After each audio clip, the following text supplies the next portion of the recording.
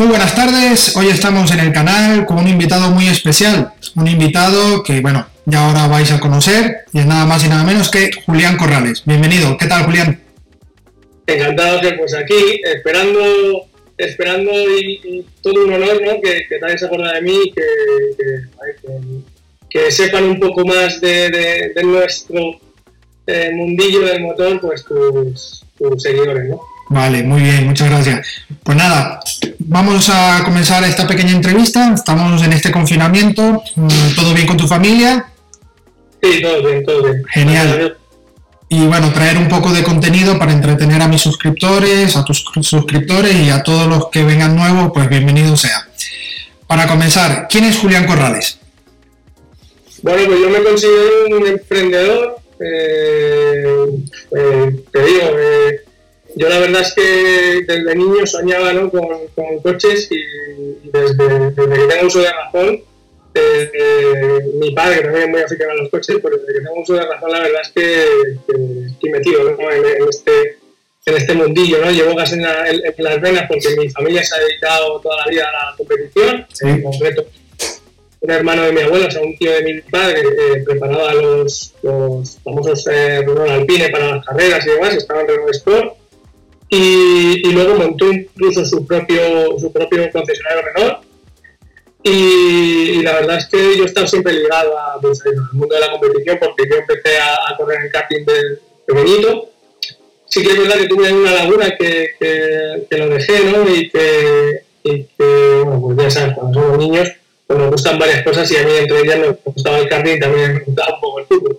Y, bueno, y, lo dejé un, tiempo y luego luego volví un poco más, eh, ya más mayor, y sí que, bueno, pues eh, he hecho mis pinitos, he corrido algunas carreras, algunas competiciones, y sí te digo que, que bueno, que tengo ese, ese granito, o sea, ese, esa espinita, ¿no? De, pues, haber ganado un, campo y que, y que, bueno, eso lo, lo, puse en práctica, no te quiero aburrir mucho, pero lo puse en práctica hace unos años, hice una campaña que se llamaba Todo por Madrid, en la cual colaboraban diferentes eh, marcas y empresas y, ayudaba a pilotos tanto de moto como de coche madrileños a, a intentar buscar sponsor y buscar una financiación para, para que pudieran despegar. ¿no? Y la, verdad es que estuve un año entero trabajando en ese proyecto y fue muy bonito, ¿no? porque, porque un, chico de motos eh, consiguió llegar al Campeonato de España y posteriormente al Europeo. Mm. Un, otro amigo, eh, eh, le echamos un pequeño cable ahí porque iba a ir al Dakar y le echamos un pequeño cable y, fue al Dakar. Bueno, hicimos ahí un montón de, de acciones con diferentes pilotos y, la verdad es que pues, me sentí muy bien, ¿no? el, poder ayudar y el, y el poder eh, intentar que otros consiguieran algo que yo tenía ahí en el tiempo. Sí, es que aunque no estés involucrado presencialmente o digamos, de primera persona, pero el colaborar, el contribuir es muy gratificante. Y en este mundillo todo se agradece. De verdad es que, que, para muchos poder llegar a ser piloto es un sueño y como tú bien dices, pues esa, esa espinita que, bueno, que algún día a lo mejor vuelve. ¿Quién dice que no?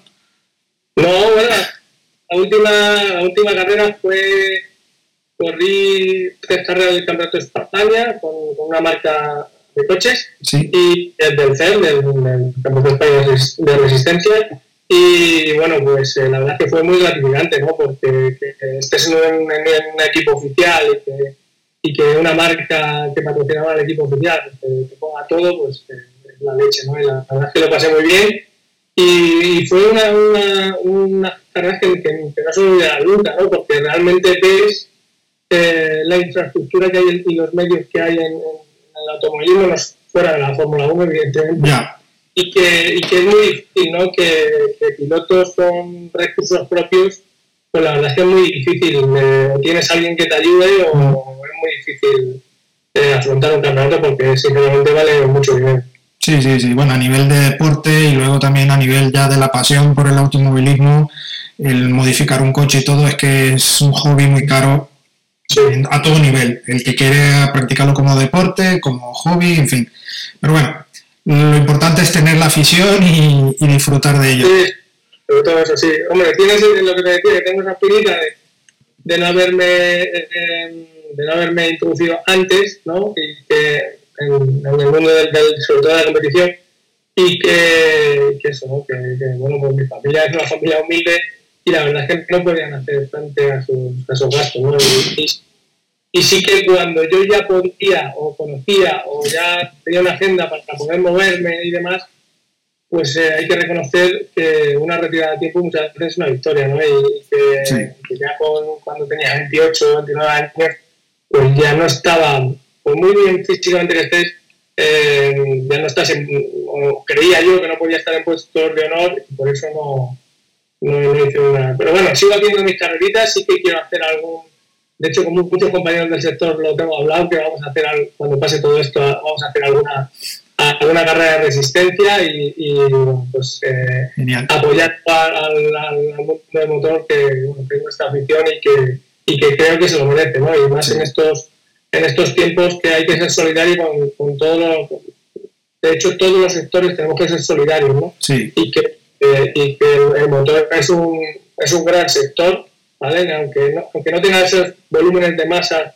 como el fútbol y demás, pero, pero sí que somos muy somos un grupo muy cerrado, pero muy con, mucha energía, con mucha fuerza. la verdad es que los que gustan nosotros son, son, son 100% puros, que, que, les gusta el mundo, el mundo del, del automóvil y que, que, yo creo que, ¿por qué no?, ser solidarios, hacer una acción solidaria para, para estos tiempos que creo que, nos lo merecemos todos, ¿no? Que, que, nos ayudemos mucho. Sí, son momentos complicados, no, no se avecinan tampoco a corto plazo también un panorama muy, muy seguro y muy positivo, pero saldremos adelante y bueno, como tú bien dices, en la parte del sector de la automoción, pues saldrá adelante como todos los demás sectores, pero eso sí, siempre aportando el grano de arena que todos podemos en cada, en cada aporte que podemos hacer, ¿no? Sí, aparte, como tú bien sabes, el sector del, automóvil, separándonos un poco de la competición, sino del producto, es un termómetro, yo creo que muy bueno, ¿no? De cara a la sociedad, porque mm. si se venden coches parece que la, parece que la economía funciona y parece que todo va mejor.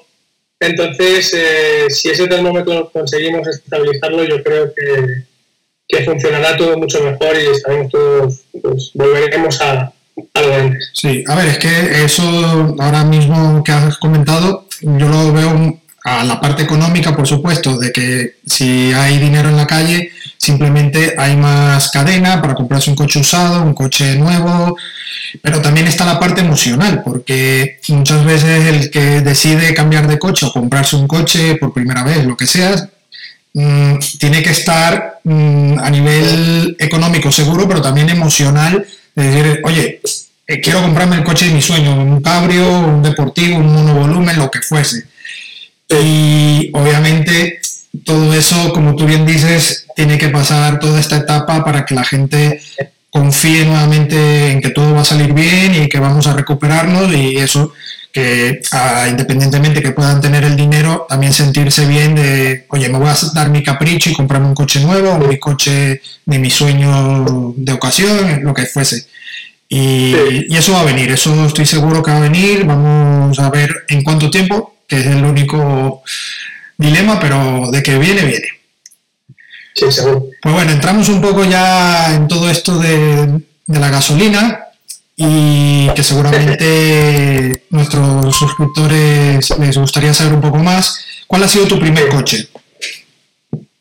Pues mi primer coche, para empezar curioso, yo tengo propios míos, la verdad es que he tenido bastantes coches pero te va a parecer curioso porque yo tuve una unidad que me arrepentí eh, de perderme de ella, sinceramente. fue un, un, un, Clio, o sea, perdón, un Clio, un Twingo Williams. Mm. Fue, mi, fue mi primer coche y la verdad es que fue una pasada porque, porque tener un... Yo me sacó el carnet y el coche me lo dejaba mi padre, como a todos, ¿no? Y yo conducía el coche de mi padre y cuando, cuando estudiaba y trabajaba a la vez, conseguí ahorrar unos, unos, o sea, tener unos ahorrillos ahí y me compré, me compré el coche segunda mano y la verdad que cuando lo tenía sabía que era un coche un poco peculiar, pero no le daba quizás ese valor que le puedo dar hoy en día que, Twingo Williams, la verdad es que yo, yo sinceramente solo he visto ese. Ya, ya, que son un unicornio de estos raro, raro. Sí, sí, sí, sí. Ya de por sí. me, me- me- lo vendí y, y, y me compré me compré un bueno he tenido, he tenido coches curiosos me, me compré un Opel Kadett GSI 16 válvulas y la verdad es que con ese también me lo pasé muy bien Pero gira o no gira. bueno Bueno, muy bien, muy bien. Y a ver, en cuanto a motor, ¿qué te gusta más, atmosférico o turbo? pues sinceramente depende Ya. depende porque, eh, porque para las carreras eh, yo he corrido con, con coches atmosféricos y, he- y he corrido con coches turbo y, y sinceramente a mí, para las carreras me gusta más un coche turbo. Mm. Sí que es verdad que hay coches atmosféricos que, que son súper divertidos y que, y que yo, por ejemplo, yo tengo a día de hoy tengo un Clio de carrera, Mm. un Clio 10 de carrera, además lo tengo ahí con, con muchas modificaciones y demás. Con algunas chuches.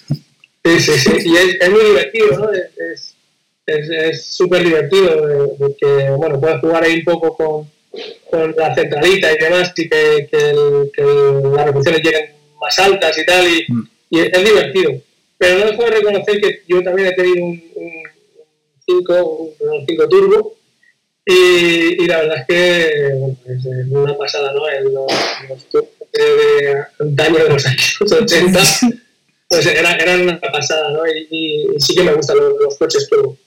A día, de, a día de hoy tengo un coche de turbo también, que, que, bueno, compartimos un poco, coche de calle. Sí, sí. compartimos un que es un John Cooper Wolf, Mm. y, y sí que es una pasada, ¿no? La verdad es que el, el Mini eh, va genial y, y- y es, es, es, es una pasada. Lo tengo hace poco, además me lo he comprado un poco antes del confinamiento. Bueno, en sí tendrá, pues, tendrá dos, dos meses y medio, una cosa así. ah, bueno, pero lo has estrenado lo suficiente. Sí, sí, sí, sí, lo que, lo estrenar. Bueno, como bien tú sabes, ya, ya lo había probado, ¿no? Ya, ya. Las marcas coches y demás, pero, pero no es lo mismo que tener el coche tuyo propio y que, y que puedas hacer lo que quieras, ¿no? Sí, sí. Y sí que, y sí que es una pasada, ¿no? Yo, yo te digo, yo, muchos de los coches, por no decirte la gran mayoría de los coches que he tenido, de calle que estamos hablando, eh, han sido tú. Imagínate. Bueno, bien, bien, bien. Pero, por ejemplo, mm, hace muy poco vi que, que habías probado el Avar, el Spider, y que habías tenido muy buenas sensaciones. Pero es una carrocería que comparte con el Mazda MX5. Sí. Entonces son dos modelos que uno va turbo, el MX5 va a su manera, atmosférico, pero allí tenemos dos sensaciones diferentes. Son diferentes, son diferentes, pero sí que, sí que es verdad que, bueno, yo creo que yo el, el, el MX5 sinceramente no, no lo he probado, ¿no? ha sido Ah. de los pocos coches de la, de la, de la nueva jornada que, que he recogido y que por cierto todavía llama, bueno, casi todo esto a ver si llama a Manu y no lo deja, Sí, porque ahora la casualidad que no, que no, lo, no lo he probado y, y sí que te digo que, que el, el, el Avar me resultó súper curioso, ¿no? El, el paso por curvas, la aceleración que tiene, el, con- tan solo 170 caballos se mueve muy bien y divertido hasta más no poder. Sí, es bestial. La verdad es que me lo pasé muy bien. Tiene. Tiene. La, está, es tan divertido, porque me fui a hacer una rutita por la, por la sierra y tal, Sí. y está divertida esa, esa, esa propulsión trasera y, y esa, esa entrega de potencia que tiene, que bueno, yo creo que está muy acorde ¿no? con, con el tema de, de relación peso-potencia y sobre todo el chasis. Yo creo, Sí. vamos, a mí me gustó bastante el, el coche y, y creo que mm, puede tener mercado, ¿no? En el sentido de estos eh, fanáticos de agua. Sí, sí. Además, bueno, es un modelo también peculiar porque es un coche biplaza, cabrio, y bueno, no es un coche que es para el día a día, pero sí es verdad que es un coche que es mm, muy válido, incluso para personas que estén indecisos del MX5 y quizás por precio y todo, el Avar la verdad es que le veo muy bien. El Mazda, sinceramente yo lo he probado en la versión, el de techo duro, en el último que salió, y me ha gustado, me ha gustado, pero no sé, a mí hay, hay algo que, que el, el escorpión ha hecho que es que no sé, me pones a decidir y me voy por el Avar. Sí, tiene, tiene magia ese coche. Yo la verdad es que, bueno, en, general, ¿no? En la marca Avar eh, está súper ligada a la competición, ¿no? Y sí. que, sí que tiene esa esencia que, que lo demuestran en sus coches de calle. Sí, sí, sí, está muy bien. Y ahora ya entrando un poco en este tema de los coches y que además de que eres probador de coches, que tienes también tu canal Punta Tacón TV, eh, ¿qué coche tienes mejor recuerdo de todas tus pruebas? También puedes hablar un poco, oye, mira, el mejor coche familiar o el mejor, como quieran, ¿eh? Porque es que... Yo te voy a decir una cosa, de todos los que probamos, como tú bien sabes, eh, decantarte por uno es difícil, porque sí que te gusta un poco una mezcla de todo, ¿no? Claro.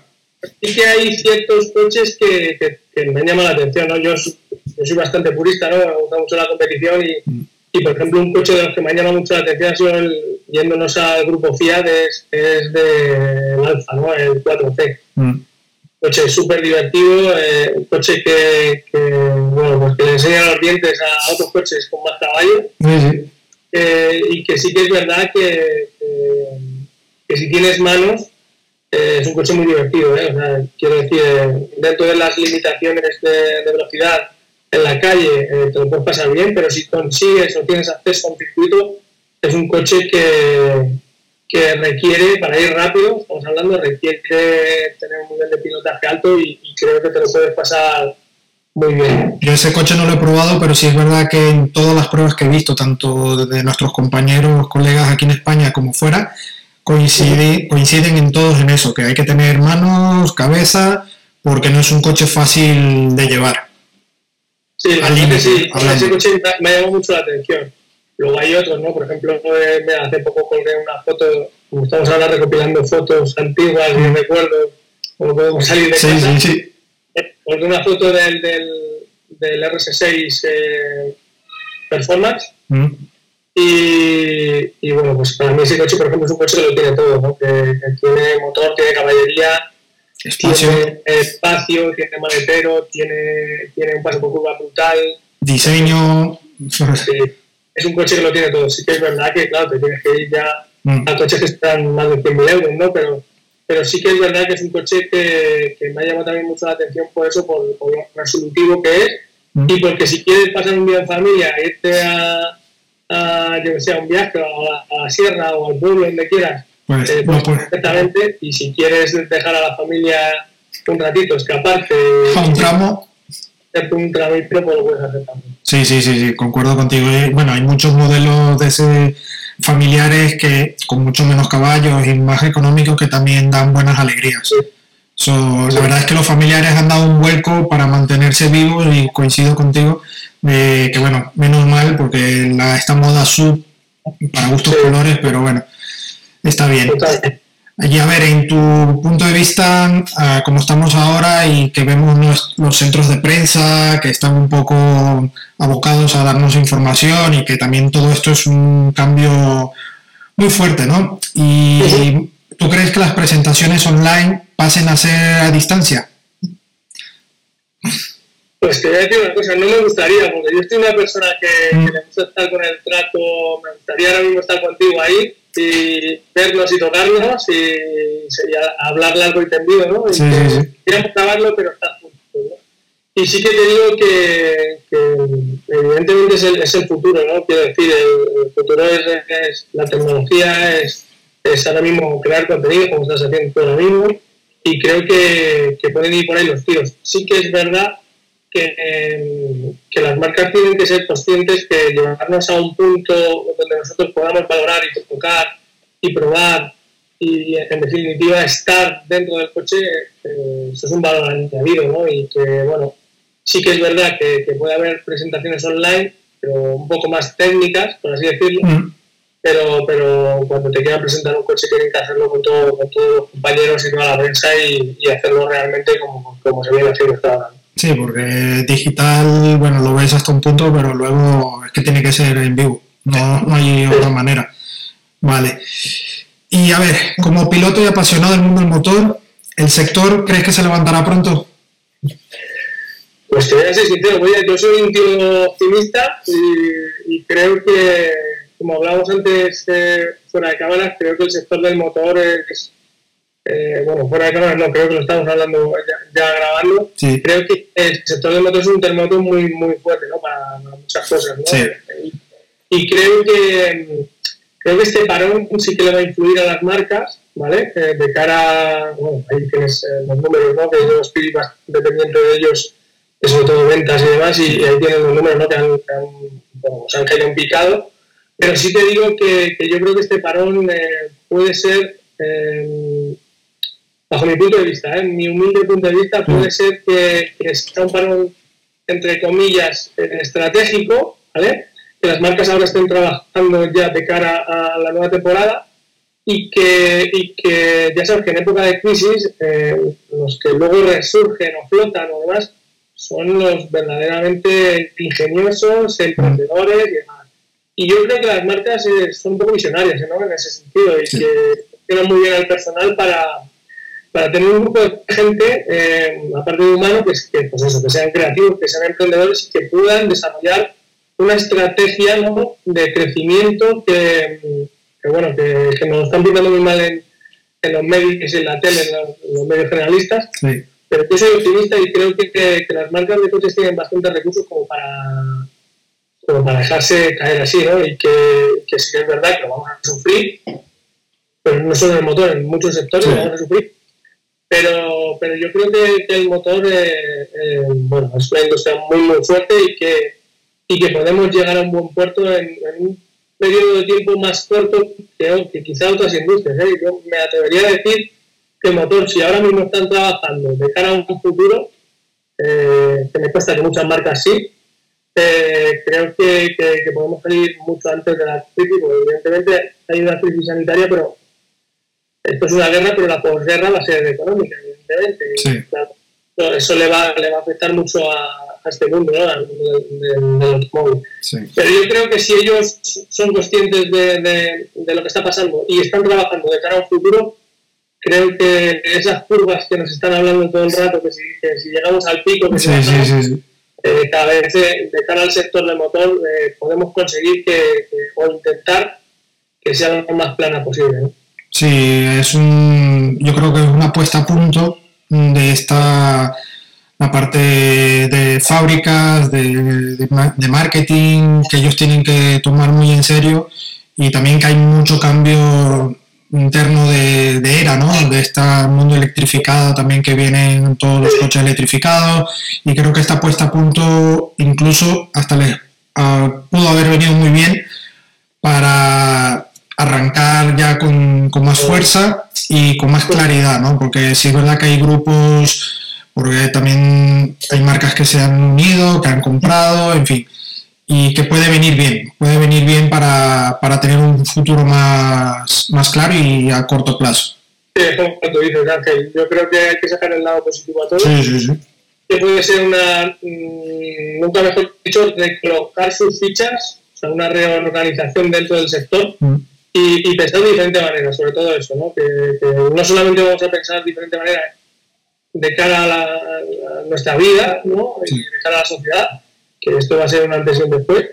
Eh, solamente en eso, sino de cara al mundo del automóvil, que, los fabricantes piensen de diferente forma e intenten ponerse en la situación de, pues, de todos nosotros, ¿no? Y yo creo que, que, muchos de ellos, como te he dicho antes, están trabajando ahora en eso y creo que eso puede ser un, pues eso, marcar ese antes y después eh, por, esta, por esta crisis que, ha habido ¿no? y, que, y que la marca se, se, recomponga y salgamos lo antes posible. Yo creo y confío en que las marcas de coches eh, tienen ese as en la manga y, que, y que, lo van a hacer bien. Sí, sí, sí.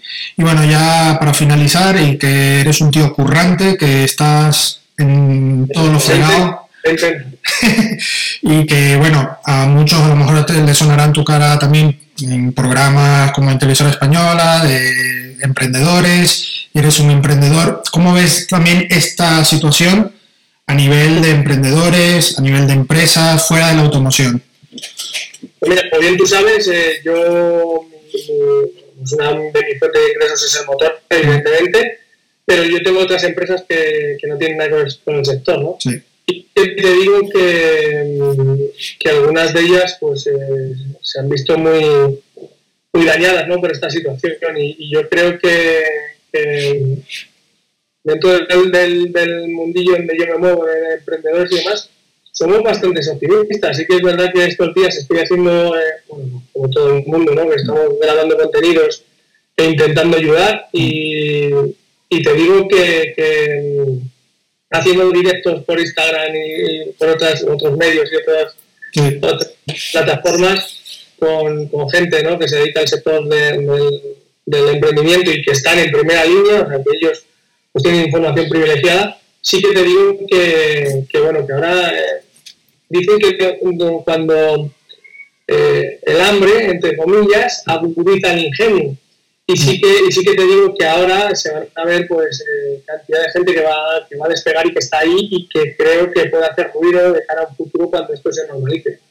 Eh, yo estoy intentando trabajar y, y, bueno, mover las fichas, como te he dicho antes, para que me haga el menos daño posible esta, esta crisis, ¿no? Y sí que es verdad que, que bueno, cantidad de emprendedores que, que, nos conectamos y que estamos en comunicación, no sé, somos, somos optimistas, aunque sí que es verdad que hay que ser realista de, la situación en la que mm. estamos viviendo y, y bueno, y todas las pérdidas que, bueno, yo, por desgracia, cercanos míos, eh, pues, amigos y demás han perdido a familiares queridos y, bueno, está ahí, ¿no? Y hay que ser realista de, lo que está sucediendo. Pero sí que es verdad que hay que cambiar un poco el chip y que, eh, eso, ¿no? Que ser creativos en estos momentos, estamos en casa que tenemos tiempo para, para pensar y para desarrollar ideas. Y sobre todo yo, yo lo que recomiendo es, mira, te voy a, dar un apunte que yo hago todos los días cuando me levanto. No sé por qué, pero desde que estamos confinados como que mm, el tiempo se ralentiza o al menos yo, cuando, cuando no estaba confinado, pues eh, eh, vas a una presentación, a una cosa, a otra, tal, no sé qué, te invitan a millones de eventos. y, y, por el trabajo, la verdad es que voy a toda velocidad, nunca mejor dicho, y, no te da tiempo a pararte, ¿no? es verdad que antes ese parón. Ahora que lo tienes, eh, siempre el ser humano eh, anhela lo que no tiene, ¿no? Ahora, ah, no, es que ahora me gustaría estar haciendo esto. Bueno, pues intentar estar en cada situación y ahora yo por la mañana, por ejemplo, no sé por qué, pero cuando me levanto, me levanto lleno de, de ideas y las apunto todas. Porque sí que es verdad que igual que, igual que te digo que, que me considero, entre comillas, una persona creativa y que no deja de, pues eso, de pensar y de innovar y demás, sí que es verdad que, que me, fluye, me fluye la inspiración y luego se me olvida. Entonces, me apunto todo en, una, en esto y llevo ya llevaré más de 20 hojas apuntadas en un cuaderno. Y que, y que, bueno, pues evidentemente todo no se va a poner en práctica, ¿no? Pero sacar la, sacar la esencia, lo bueno, o sea, exprimirlo todo como si fuera un, un tubo y que eh, lo bueno salga algo, ¿no? Y que creo que creo que, eso, es, eso, es, un emprendedor, ¿no? Mm. tener la idea, juntarte un grupo de gente con fuerza, con, con, con, con energía y todos a una intentar desarrollar esa idea de pelear y pelear y pelear y la palabra clave es la constancia, ¿no? Yo creo que la constancia es la, clave del éxito. Sí, sí, bueno, y ese ejercicio viene fenomenal porque independientemente de que puedan salir las 20 folios completos, ya es un ejercicio mental porque ya te levantas y estás, vamos, ya... Te mantienes activo. Eso es, y eso viene fenomenal porque ahora mismo el que se detenga Luego no hay cambio de aceite ni cambio de ruedas que, que ayude al mantenimiento. Yo, yo, yo, te voy a ser sincero, yo que estoy acostumbrado a estar en, la calle, yo soy un alma libre, que hago yo, estoy todo el día para acá. Estar tanto tiempo en casa sí que es verdad que, bueno, pues te genera un estrés, está claro, la mía todo el mundo, ¿no? Y, mm.